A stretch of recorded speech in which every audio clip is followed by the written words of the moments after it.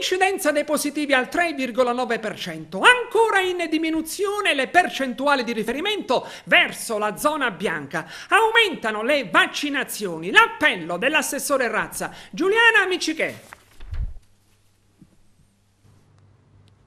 Sono 422 i nuovi casi di Covid in Sicilia a fronte di 10.771 tamponi processati.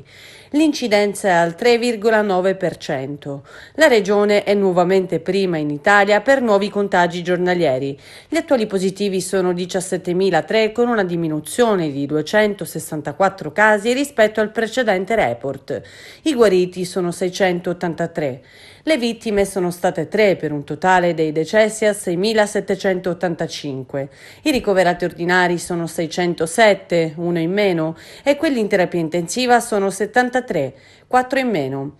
Ecco la distribuzione dei nuovi contagiati tra le province. Palermo 68, Catania 140, Messina 24, Siracusa 73, Ragusa 37, Trapani 48, Caltanissetta 17, Agrigento 10 ed Enna 5.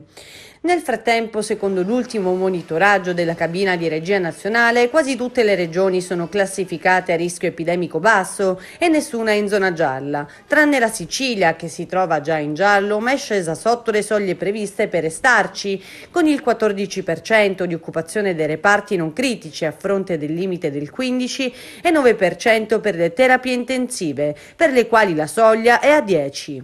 E secondo l'ultima stima dell'efficacia dei vaccini contro il coronavirus da parte dell'Istituto Superiore di Sanità, si osserva una forte riduzione del rischio di infezione nelle persone completamente vaccinate rispetto a quelle non vaccinate. In media nei vaccinati la diagnosi è abbattuta del 77%, l'ospedalizzazione del 93%, i ricoveri in terapia intensiva e decesso del 95%. Ad esempio il rischio di morte per Covid negli over 80 non vaccinati è 14 volte più elevato. In questa fascia di età le ospedalizzazioni dei non vaccinati negli ultimi 30 giorni sono state 9 volte superiori a quelle dei vaccinati e i ricoveri in terapia intensiva degli over 80 non vaccinati sono stati 11 volte superiori rispetto ai vaccinati. Anche i decessi dei non vaccinati sono stati 14 volte in più rispetto ai vaccinati con ciclo completo. E a seguito dell'incremento delle vaccinazioni in Sicilia, l'assessore regionale alla salute, Ruggero Razza, commenta: È probabile che l'effetto dell'obbligo del Green Pass per l'accesso ai luoghi di lavoro si faccia sentire ancora di più nei prossimi giorni e nelle prossime settimane. L'invito che rivolgiamo ai siciliani è sempre di vaccinarsi e avere fiducia nella scienza. L'unica via per sconfiggere il virus e tornare alla normalità è quella vaccino. La prospettiva di realizzare il programma.